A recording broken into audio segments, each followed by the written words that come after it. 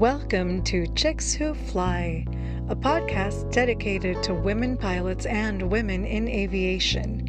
My name is Inaya and I am your host. I am a vocalist, a producer, a pilot, and an advanced ground instructor. I have decided to stay active in the aviation community by doing this podcast, among other things. I plan to interview and feature women pilots and women in aviation and share their aviation love stories with you, as well as the ups and downs that they decide to share. In this fourth episode of season two of Chicks Who Fly, I get to have conversation with part 135 corporate pilot flying a PC 12 in the Caribbean, born and raised in Rio, Brazil, Debbie Nascimento. Debbie is a first generation aviator who became a flight attendant at 20.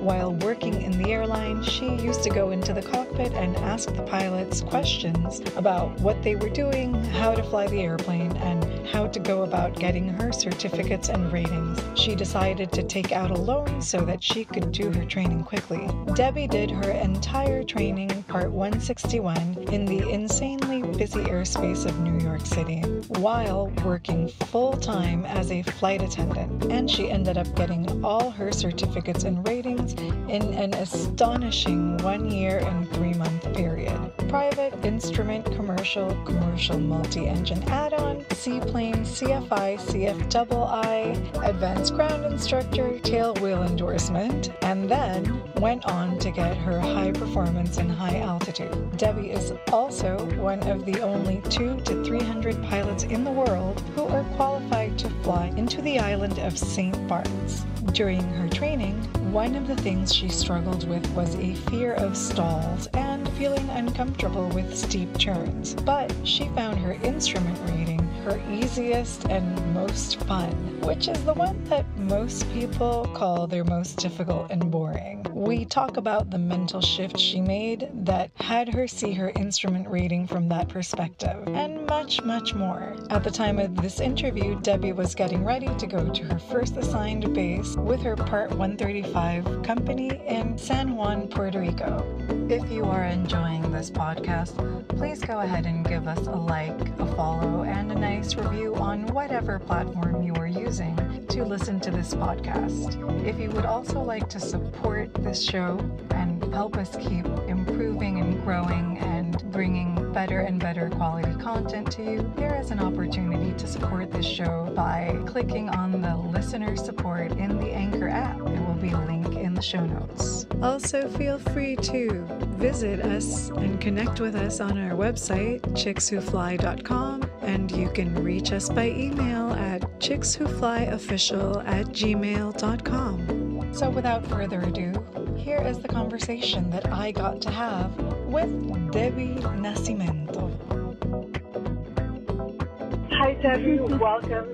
Super excited to have you on. Tell people who you are, what your ratings are, and what your current relationship to aviation is. So I'm Debbie Nascimento. I'm 24. Um, born and raised in Rio, in Brazil, and I am this first generation aviator in my family. However, I've always kind of loved it. Always kind of looked up to the sky. I knew that that was something I was going to do someday. But just like most of us, when we get started, we have kind of no idea the path to go or what route to take. So I became a flight attendant in 2017 when I was 20 years old.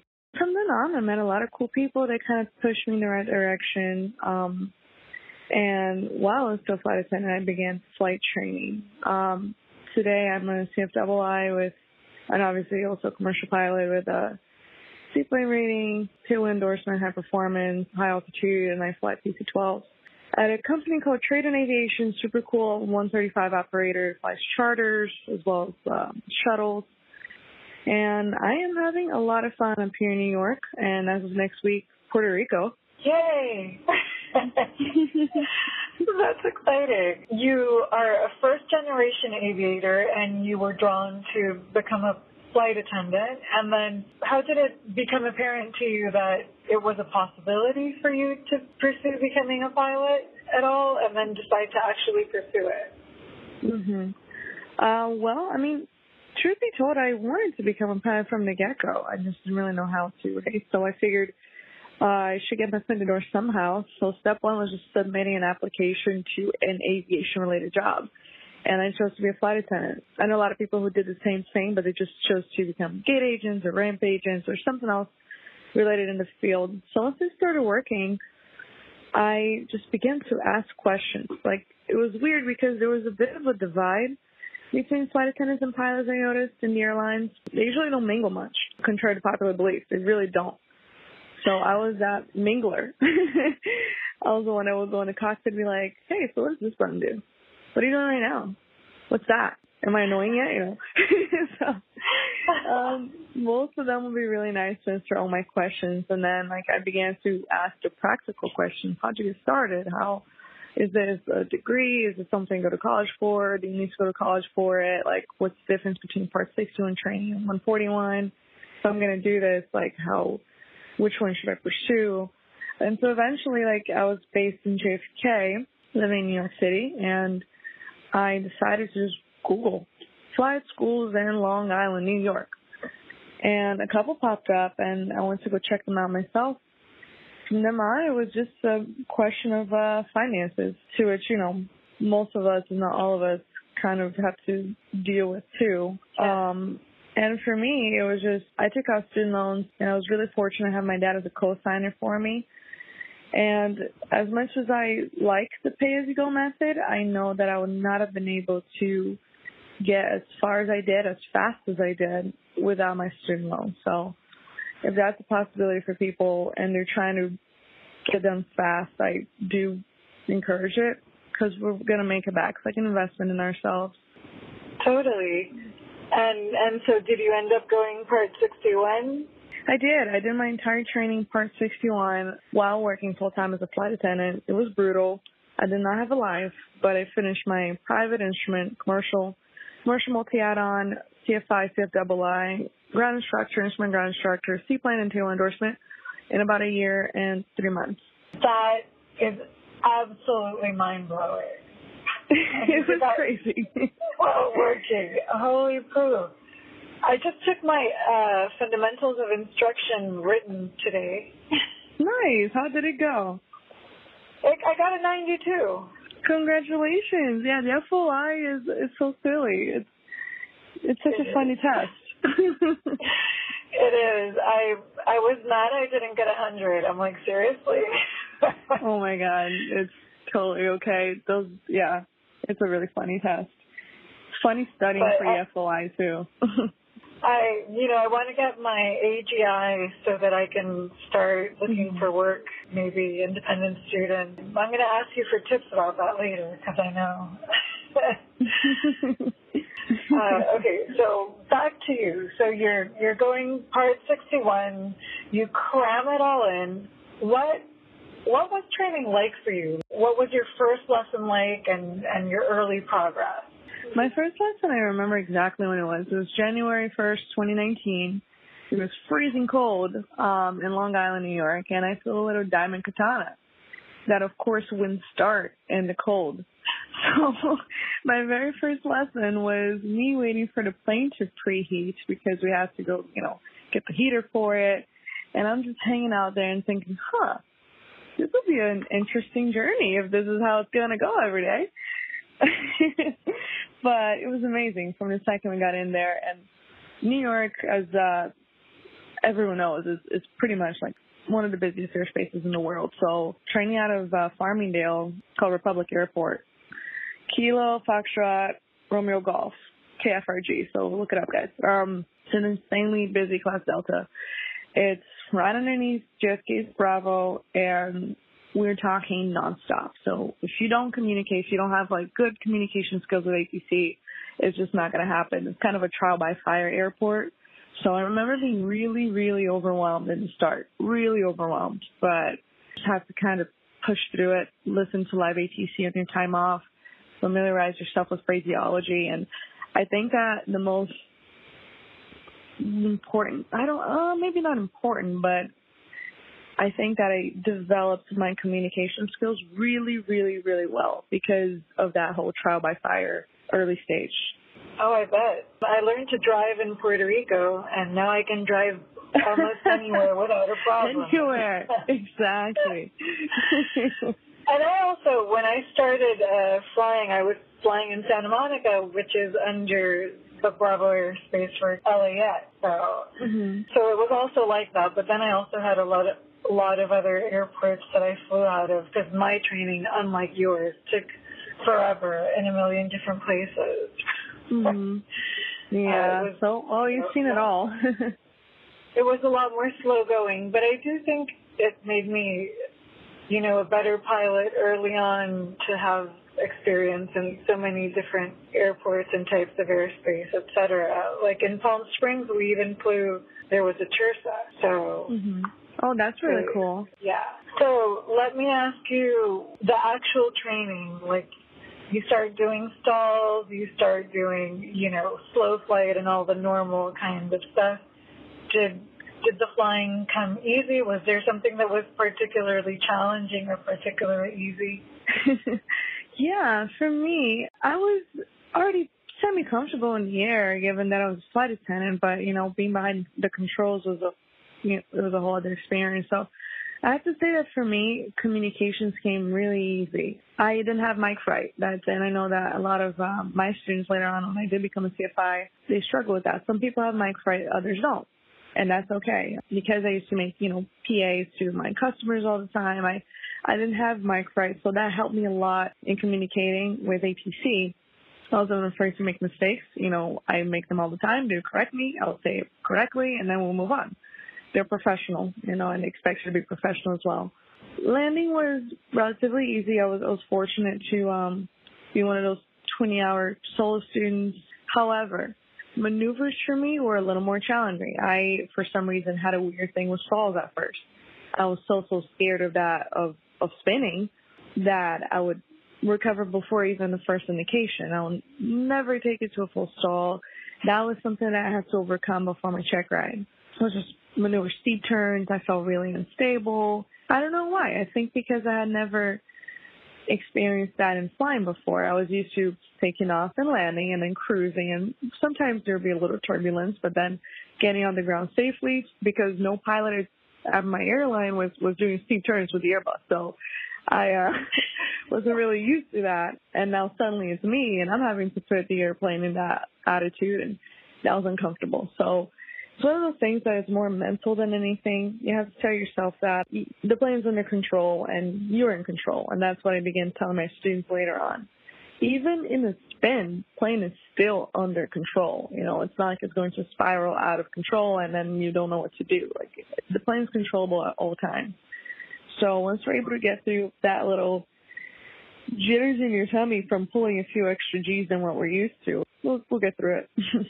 So you just got over it with practice? Practice, experience, and positive self-talk. The plane is not going to crash. The plane is not going to fall down. You know, you're in control and, and you're the pilot and, and relax because because you're putting in a 45 degree bank doesn't mean that you're suddenly going to be inverted, you know, even sometimes it might feel that way. But yeah, exactly. Just practice and affirmation. Cool. And after you got your private, well, first of all, was your check ride easy, traumatic? What was your check ride like? Um, I've been fortunate to not have a failure so far on my record from private to my 135 check ride. But if I were to say that I, the most difficult check ride I've ever had was my private. It really was. And I don't know if it was just because it, it was difficult. In hindsight, maybe it wasn't. But I was just so nervous and it was so new because I didn't know what to expect. I had never had a check ride before. So right. it was, it was very fair. It was very forgiving, you know, because there's no such thing as a perfect check ride. In reality, like an examiner can fail us for, for anything, for not using enough rudder, which is something really silly. But he was very fair. He looked at the overall big picture and I did a good job overall, but I would not say it was easy. What I would say is that every check ride gets a little bit easier because you learn how to deal with your own nerves and um, how to prepare a little better. Understood. My my check ride. I don't know. I think I suffer from imposter syndrome because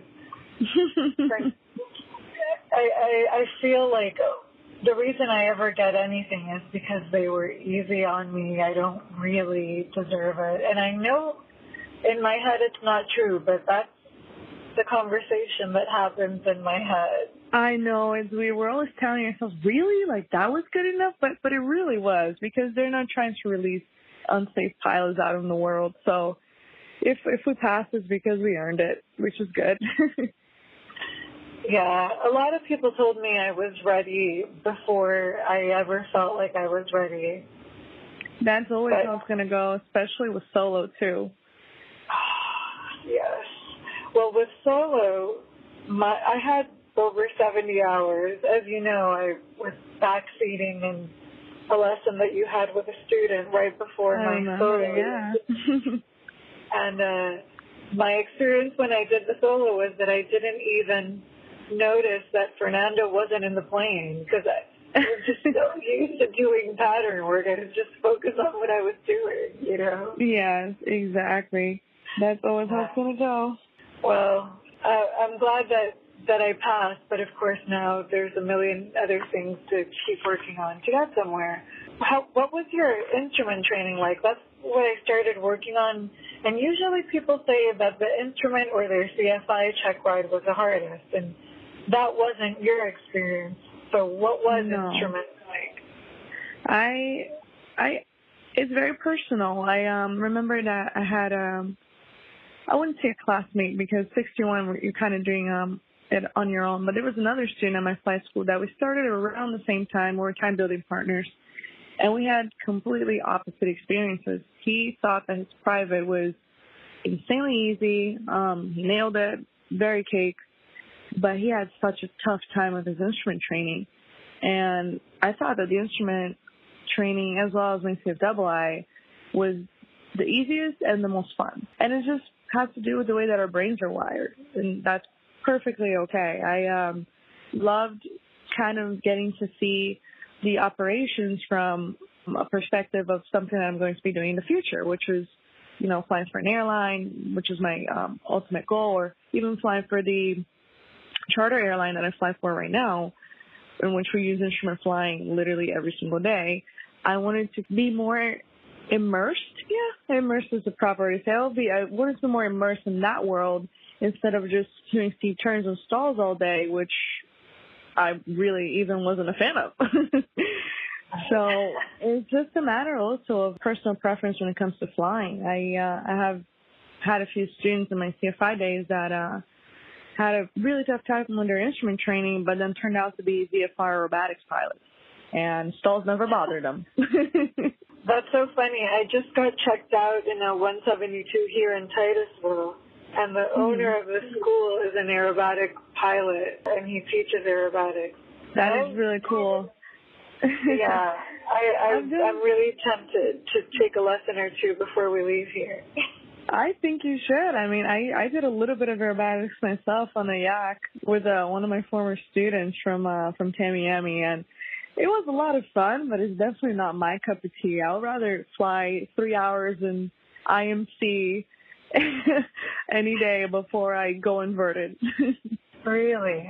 I've, I've only done the instrument ground school. I haven't. Well, I did one uh, approach uh, during a checkout because the the CFI that checked me out was really cool. She was like, well, you know, she knew I was working on my instrument ground school, and she let me shoot an approach, and it was definitely a very high workload, especially in Class Charlie airspace in Daytona. But, uh, I don't know. Oh, I yeah. need a little more experience with that before I know how I feel about it. and you will. I had a, I flew with a captain the other day that he told me, Debbie, like, instrument flying is supposed to be boring. If you're stressed out about it, it's because there's something wrong with the way you're handling it. And if, and I realized that he's right. Like eventually we come to a point in which instrument does become boring because it's systematic. It's very systematic. Um, everything follows an order. Everything has its, everything has a method. So once you learn what you have to do, when you have to do it, what buttons you have to push, and how to interpret um, instrument plates, approaches, STARs, SIDs, GPs, etc., it just becomes another task. So eventually, you get to the point in which you're shooting an approach, you're like, okay, cool, I know what's going on, and then it's going to be boring, and then that's when you've mastered it. well, I look forward to that day. I always used to say when I started flying, I can't wait until the day where I'm as comfortable in the airplane as I am jumping in my car in Los Angeles, you know. yeah, and then once that day happens, you're gonna move on to a bigger airplane, and you're gonna be uncomfortable all over again. yeah, you just repeat, rinse and repeat. rinse and repeat. so, I don't know if I ever told you, but it is my dream to at least get my commercial seaplane and perhaps even do CFI seaplane. So, you tell me about your seaplane training because you said you you're, you have that rating, right? Yes. So um, where I did mine is uh, I flew SeaReys, which is an amphibious tailwheel, and I did that in Lakeland, Florida, at this place called Flying Fish. And I did my check ride at Jack Brown's. Jack Brown's has Piper Cubs and floats. Both are super awesome places to go. Highly recommended, uh, both. And once you are a CFI, after you get your seaplane rating, then you don't need to do an additional CFI check ride for your seaplane. Like you can already teach in the seaplane. As long as of course like you have your um, required hours in the particular plane you're gonna be instructing in. So that was a lot of fun. It's it's very well, my, how my DP described it, um, flying seaplanes is very artistic. like you got to be really creative with with it because you need to when you're landing in a lake. There's no runway. You need to imagine one. So in a way, like the stick and rudder skills that you need to fly a seaplane are, they need to be very sharp. You need to be very imaginative, and because it's not like you have a paved runway that's going to be steady ground all the time. It might be landing in waves.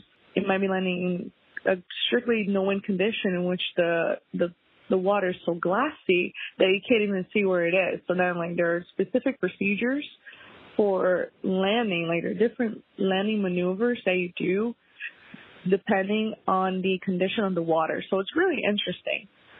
It's it's really cool. Unfortunately I never got to instruct in a seaplane. That would definitely be something to consider in the future just for fun. But I eventually want to get my single or my multi-engine sea because I have my single engine land, my single engine sea, my multi-engine land, and now I want my multi-engine sea. And I have no idea how I'm going to do that. well, you're going to be in Puerto Rico. I'm sure you'll figure out a way. you know, I'm I'm in a interesting situation, so I just want to keep moving in the right direction. And I also got my commercial drone remote SUAS. Mm-hmm. Cool. The other day, just anything that I can actually use to start working again because my life doesn't look anything like it did before COVID. So right. I'm trying to make up a whole new life and a new way to move forward. Very cool. And, I think you're gonna you're gonna have a lot of success doing ground instruction after you get your AGI. Thank you. I I definitely hope so. I never thought I was interested in teaching anything. Like when I used to do music, I mm-hmm. just felt like teaching people ruined the experience for me because I, I wasn't enjoying it. But I can relate. Well, I've, I've done it for so long, but with aviation, it came to me late in life, and and so I know what it's like to be a complete beginner that doesn't even know how to read the runway signs. You know. Yeah, that's kind of the beauty of being an instructor that you you've been in their shoes, so you, you get to help them out with kind of a smooth transition during that tough initial phase. So that was really, really the most rewarding part for me, I think, about being an instructor. Did you enjoy being a CFI? Ooh, do you want the real answer or the fake answer? No, no, for real, because everybody struggled with this stuff. So yeah, let's be real. Let's be real. Um, teaching is not what I was born to do, for sure. There were a lot of rewarding moments about it. I loved it when I signed off the student for a check ride and they passed it. Like I was more proud of them. I was I was happier when a student passed the check ride than when I passed my own check ride. It was really cool. It was like a proud mom feeling, like congratulations! No, I I produced you. I made you who you are, and I'm so happy. So that was insanely rewarding. That to me was probably that was worth all the struggles. But realistically, I found the most patient woman in the world, I guess. so explaining a concept over and over and over and maybe something that it's not the student's fault per se. Maybe, you know, the student has a little bit more difficulty with instrument training than I did.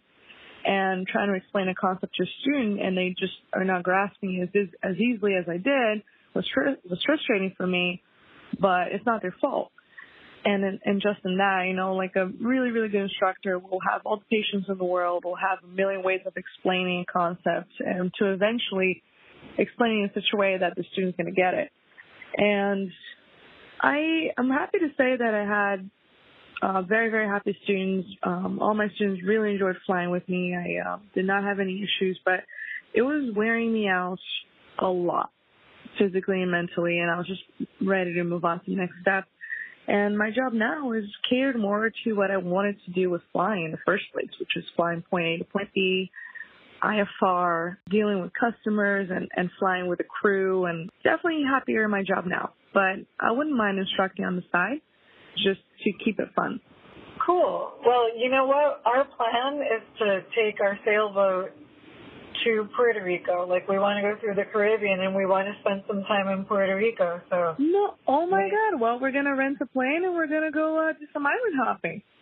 You read my freaking mind. Yes.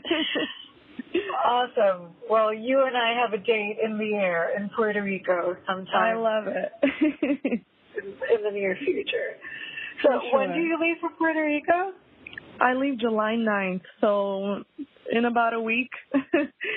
wow, that's so soon. That's so exciting. I know, and it was kind of thrown at me last minute. I knew I was going to go, but they originally told me I wasn't going to go until October. And then magically, I was like, "Hey, Debbie, like we need pilots in the Caribbean, and you volunteered, so bye bye." I'm like, "Okay, let's, do it." Love Heck it. yeah. So what? I want to know what training was like. Training at uh, my charter airline was it was more difficult than my initial training and my CFI training combined. Oh um, my god. I used to say that training, that my CFI training was uh, everything that I learned throughout my initial training and more crammed in one month. Well, I learned more in my 135 operator training than I did my initial training and my CFI training combined. I learned more in one week. It was it was insane. It was very fast paced. I was studying about 18 hours a day. I woke up at 5 a.m. every day, studied from 5 to 7, went to class at 8, was in class from 8 to 6 p.m., and then you know, went had a little break to eat and, and shower and then studied from about 7 p.m. to 10 p.m. Went to sleep around 11, woke up at 5 again to go study. So it was worth it in the end. well, you know, they want to make sure that they, that we're living up to the task and that, uh, they chose the most capable candidates that they could. For my class, I had a class of five people, including me. We were five people and there were 2,000 applicants for that class. So wow. when they chose us, they wanted to make sure that they chose those that could live up to the task, and it was, it was tough but rewarding. And at the end of the day, if you're learning about something that you love, it's still going to be hard, but it's going to be enjoyable. And I was really fortunate to have amazing classmates, and they became like family. And the the five of us now like continue to hang out and help each other out through anything. And it was tough. It was um, one month of training and about three weeks of ground training and then one week in the simulator. And we went to flight safety for that, for the simulator. And um, that in itself was very intense. It was about six hours per day of simulator training. But it was a lot of fun. And here we are. and what what did you have to do in the simulator? In a simulator, primarily we studied SOPs, which are standard operating procedures, um, because when you fly with a crew, then each individual was assigned a, a specific task. It's not like, oh, you get a frequency change, anybody can, you know, go ahead and change frequency, anybody can drop the gear, anybody can change the flaps. Well, in reality, sure, depending on the situation, but we each crew member has a has a designated job, whether you're pilot flying or pilot monitoring.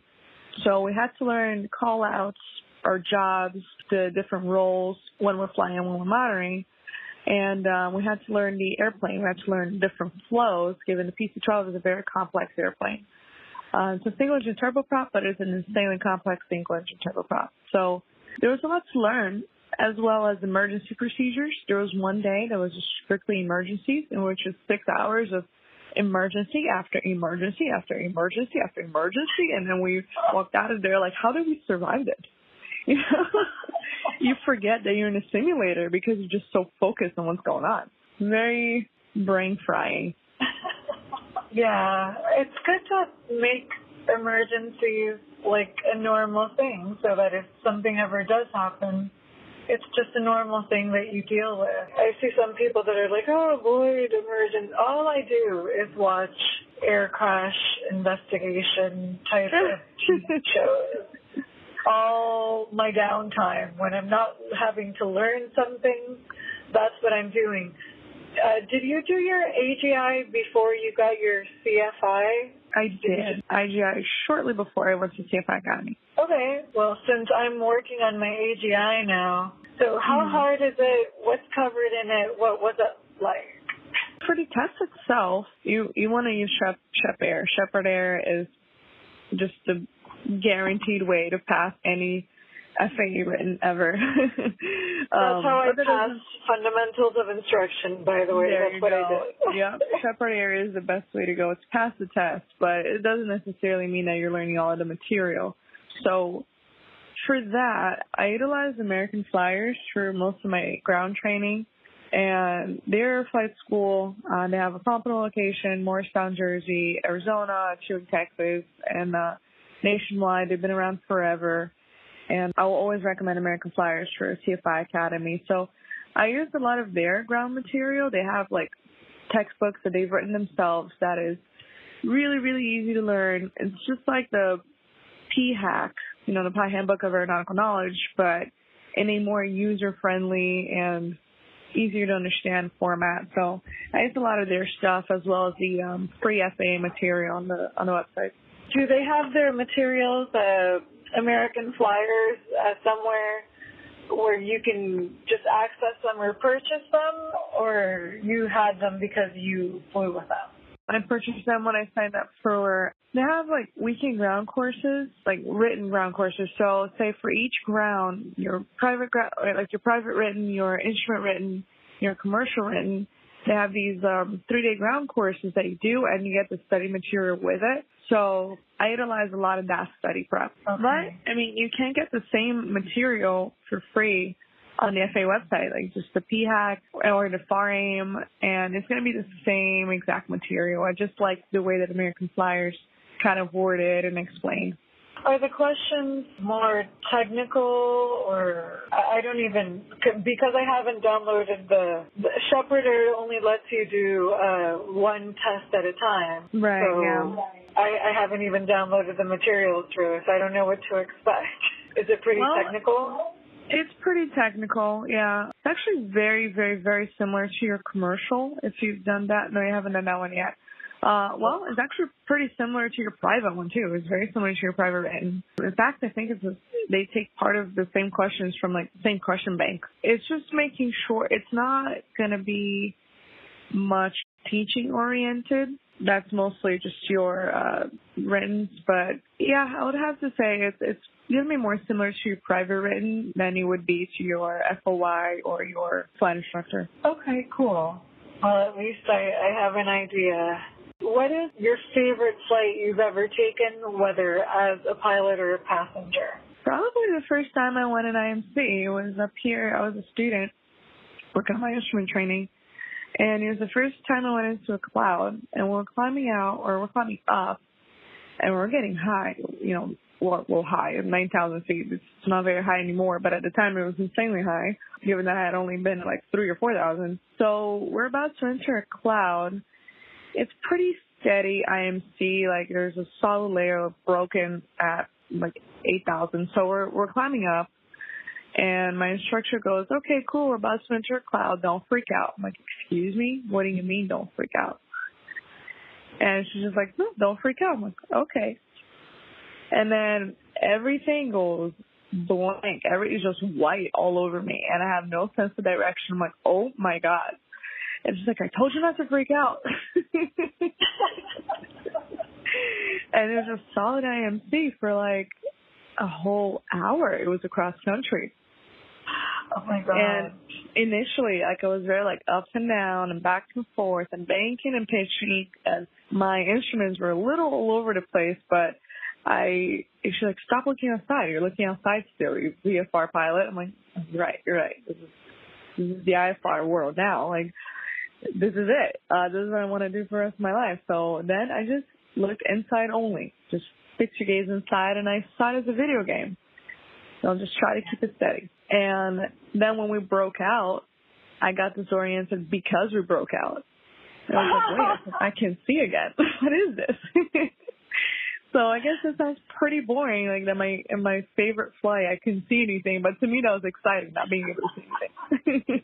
When I was training with Fernando, we were on our way to somewhere for some preparation and we went into clouds. Of course, he was PIC and he's instrument rated, so no problem. But some of my first IFR training was in actual IFR, and it is pretty trippy when you like get into this cloud suddenly. And it is.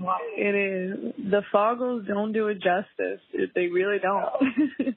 and I felt like you, like I kept wanting to look outside, but there was nothing there. And I had the same conversation. I, I used to DJ, so I used to spend three, four, five hours staring at my computer screen mixing music. Oh, there you go. so I was like, it's just like that. it's just like that. It's just like playing a video game or mixing music. Except what's coming in through your ears on those headphones is not anywhere nearly as nice as some good music. Very good point. Sometimes it's not fun to be listening to at all. That mess in New York airspace. Right? I've heard the controllers can be pretty intimidating. Did you get disoriented, like, spatially when you entered that cloud? A little bit, yeah. A little bit spatially disoriented, but it was only because I was trying to look outside and trying to find ground or a reference point or a horizon and there was nothing. And then once you just look at your instruments and you just have to trust it, I think that that's the scariest part for a lot of pilots is trusting your instruments, you know? Like you're having to rely on the machine at this point and it's like it's sometimes it almost feels like you're not in control because you're having to rely on the machine, but you are in control and just use it, lot, utilizing it as a tool. So learn to trust the airplane. If you've done thorough pre-flight, there should be nothing wrong with the plane. and if there is, you should be able to identify it as an instrument pilot, like a blocked pitot tube or static port, and just go from there. Everything is a learning experience. Cool. Well, I want to get some more like experiences from you. Like, what was your first like solo cross country like? Was that at all like intimidating? Was it exciting? Where'd you go? It was fun. I um I crossed over to Long Island Sound, so I left Long Island and Republic Airport, went to Groton Airport, which is in Connecticut, at an eastbound, and then I kind of triangulated the Long Island Sound. So I left Farmingdale to Groton, Groton to Bridgeport, which is just a straight line along the shore, also in Connecticut, and then cross Long Island Sound back to Farmingdale. So just think of like a triangle um, over the Long Island Sound. And it was it was a beautiful day. It was cold. It was freezing cold, and I was in a little diamond katana, taking selfies galore and cruise, of course, and just kind of. I remember being bored. I remember flying and wanting to like chit chat with my instructor, and she wasn't there. And I think I would rather be bored than be too excited, right? It's it's better to be bored because it means that it's pretty uneventful.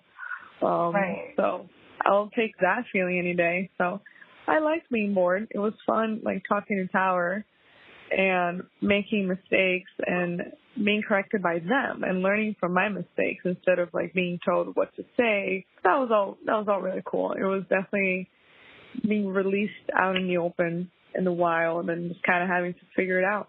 I always find I do better like that too. Like I, I have to get pushed out of the nest kicking and screaming. Yes. Exactly. That's how we thrive. But once I'm out, I'm like, oh, I'm doing this much better. Uh, one of the last interviews I had, I was talking to my CFI from Santa Fe, and one time we were taking off, and she had another student who was doing a solo cross country at that same time, and he called her on the phone. So, you know, she picked up to make sure he was okay. Mm-hmm. And of course she was keeping an eye on what I was doing, but I felt like I was on my own. And I yeah. it was so much better. I'm like, why, you know, I, I it was very clear to me how I was psyching myself out. I think it's because like when we're students, we're also under the the the pressure to like impress our instructors, and sometimes that might lead us to that might cause us to make a few mistakes. I experienced that today, even like flying with new captains. I want to like impress them and show them that I know how to fly and that I know what I'm doing, that I know my my SOPs, and sometimes like it goes that I want to show them like what great stick and rudder skills I have on the PC-12, and then it ends up like not being a good landing. And then when I'm more relaxed, not really caring too much, that those are my best landings. So it's also that added factor. Yeah, you know what? It's exactly the same for me singing. Like I'm just singing. Hmm. Yeah, like what when I'm singing in in a room full of people, but I'm not like particularly aware. It's just like a normal night. I can sing my mm-hmm. butt off, but like if there's somebody like really important sitting in the audience or somebody like dear to me that is, you know, for example, never seen me do a live show or something, like I'll be like sometimes self conscious and and it it interferes with with the level of performance as that's much as you funny, don't want. Yeah, that's that's how it goes. yeah, it's a human thing, I guess. so, what do you want to do now moving forward? I know this is just a brand new moment for you, like in a new company, about to set off to a new location to, you know, basically it's a whole new life. Yeah. What do you look forward to? And do you have your sights set on anything else after that? Yeah, I mean, um, the long-term goal is to go back to the airlines, and uh, I've always known that ever since I was a flight attendant. I love going. I love the airlines. I love 121 World. I'll always advocate for it not for everybody, but since I already lived it, I know that it is for me. So I'm loving the 135 world too for now. Um, it's definitely something that I wanted to do before I went to a career airline. I wanted to get that hands-on flying experience and kind of broaden my horizons when it comes to flying instead of just like going from being a CFI, reaching your ATP mins and then go into an airline and never getting to do anything else because 135 flying like allows you to be really really hands on like we're doing our weight balance um, we're doing our fuel planning we're doing our weather planning. We pretty much dispatch ourselves and uh, it's it's very very hands on we learn a lot. We learn a cool new airplane. PC-12 is super super fun airplane to fly.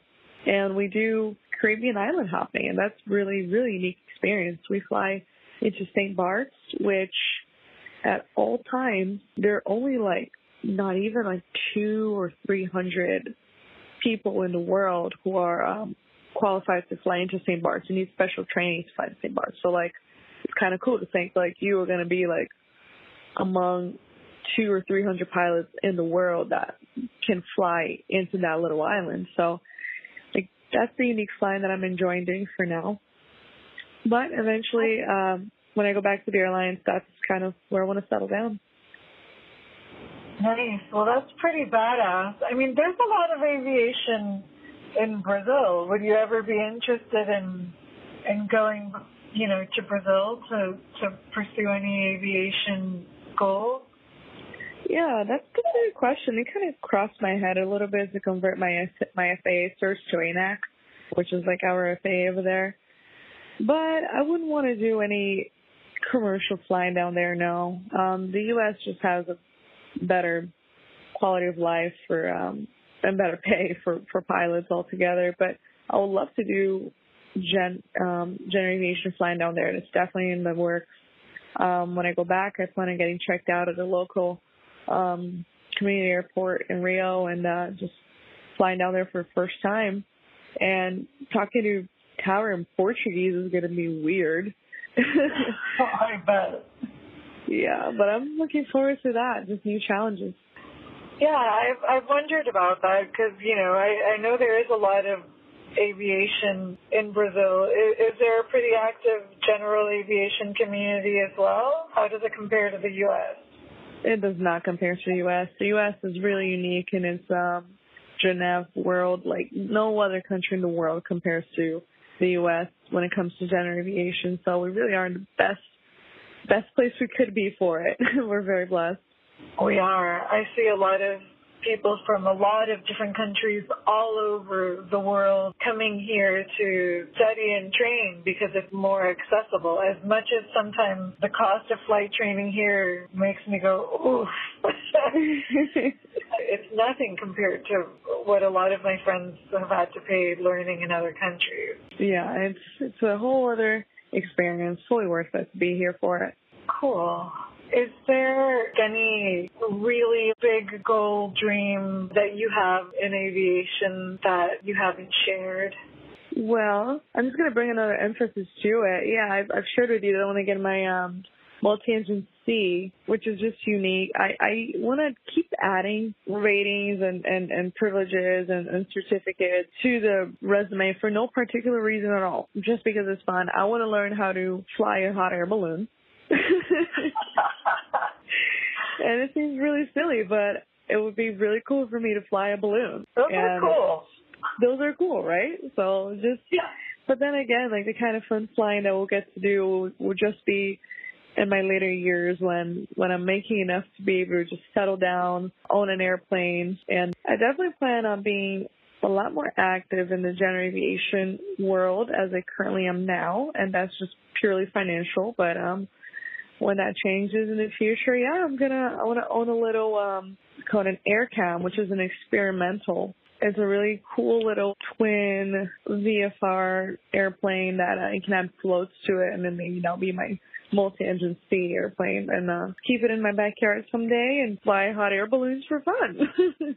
that sounds pretty cool. It sounds similar to some of my bucket list items. I'm into the Icon A5, but that one's pretty expensive. Oh, but that's a pretty one. That's a good one. yeah, it's good for fun flying for sure. I think it's the best airplane that I know for just fun flying. Most likely. That's a really cool fun flying airplane. There are a lot of those out there. The AirCam, the SeaRey, Piper Cub, or even a Stearman. The Stearman would be a fun flying airplane too. That's true. But what I like about the Icon A5 is also that it's so compact and you can fold the wings and just put it on a trailer, something like that. Yeah, you just carry around wherever you go. yeah, kind of like the airplane version of the Sony Walkman in the 80s. All right, so I guess the last question is do you have any advice that you want to leave anyone who aspires to a career in aviation or to start their aviation training? Well, for those that want to make aviation a career, my biggest advice is network from early on. I was really fortunate to get hired by this company in the middle of COVID, and that was only because I had met connections from when I was even still a flight attendant. And I kept in touch with those connections, and they eventually wrote me recommendation letters that got me to where I am. So networking for um, those that want to make it a career, do it, get involved in those groups, women in aviation, 99s, whatever, the Latino Pilot Association, whatever applies to you or even doesn't apply to you, just go to those conferences and, and build that, start building that web because aviation is really tiny and everybody knows each other and you never know what's going to pop up in your life someday that's going to be a, a defining, defining factor in your career. For those that um, are just kind of learning how to fly, I just want to do it for fun is have fun with it and don't stress out and don't feel like you need to do everything super duper fast. We have all the time in the world. Don't take out student loans if you don't have to, but if you want to go fast and build a career, there's nothing wrong with it. And um, just know that it's an investment in yourself. That's something I have to keep telling myself all the time. Student loans just kind of help get me to where I am and I don't regret them. And it's just an investment in your, in your future. Yes, that's excellent advice. And I don't think anyone has approached the advice. When I've asked them for advice, they haven't approached it like that before. So I like it. I like the unique perspective. And I appreciate you coming on and sharing your experience and your insights with us. Absolutely. Thank you. Thank you so much. I had a lot of fun. And that concludes this episode of Chicks Who Fly. Thank you so much for hanging out with us. I hope that you have enjoyed these conversations as much as I enjoy creating them. Thank you for sharing your aviation love story with us. You can reach us at chickswhoflyofficial at gmail.com or visit our website, chickswhofly.com. Also, if you'd like to be a more intimate part of the creation of this podcast, please check out our Patreon, Chicks Who Fly, where you can support us for as little as $3 per creation. Thank you again so much for your time. We hope to see you next time here on Chicks Who Fly.